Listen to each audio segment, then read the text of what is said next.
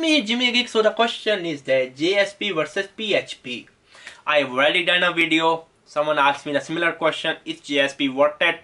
I'll be saying that use JSP or Java server page if you're going to build for if you're going to build websites which are related for dealing with money with finance with banking especially most of the banking websites are, are always built in JSP or Java server page or any kind of Java framework if you're going to start I mean if you're going to start your own startup you are going to build like an e-commerce website and web application web app PHP, PHP, PHP. I'm a PHP fanboy. I'm a PHP lover. But still, I'm going to give you like my honest opinion. I will be using JSP if I'm going to build an application for bank.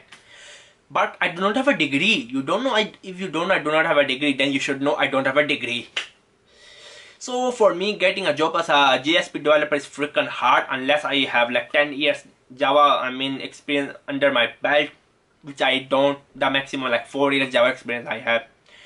But for PHP, you can get a job without degree. So, in conclusion, use JSP if you're going to be like, like finance application.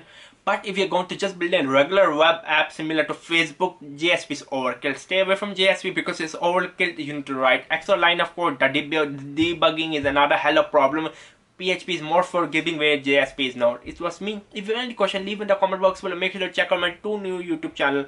The links are in the description box below. Bye.